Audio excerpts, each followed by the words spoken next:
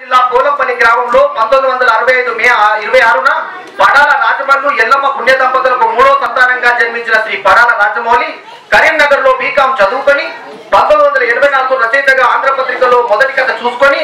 Cinema రంగం మీద ఆసక్తితో పంతొమ్మిది వందల తొంభై రెండు అసిస్టెంట్ డైరెక్టర్గా సినీ రంగ ప్రవేశం చేసి మారిషస్ టెలివిజన్ కార్యక్రమాన్ని రూపొందించి ఆ అనుభవంతో సినీ రంగంలోకి నిర్మాతగా అడుగుపెట్టి మౌలి ఫిలిమ్స్ స్థాపించి వివిధ చిత్రాలు నిర్మించి పుట్టిన గడ్డ మీద ప్రేమతో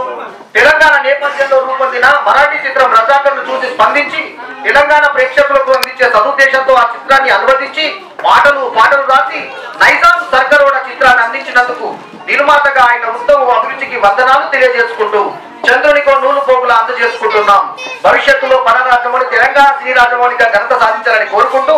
అభినందన మందార మాలలతో బల్లెం వేణుమాధవ్ అధ్యక్షులు వేదిక తెలుగు చలనచిత్ర మండలి మిగిలిన హైదరాబాద్ తేదీ పదిహేను తొమ్మిది రెండు వేల పదిహేడు సాయంత్రం ఆరున్నర గంటలకు బల్లెం అధ్యక్షులు సమర్పణ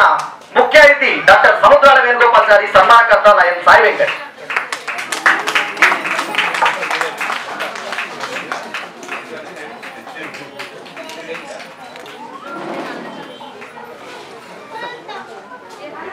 మడాల రాజమౌళి గారికి శేషు గారు భూమాలతో సత్కరిస్తారు.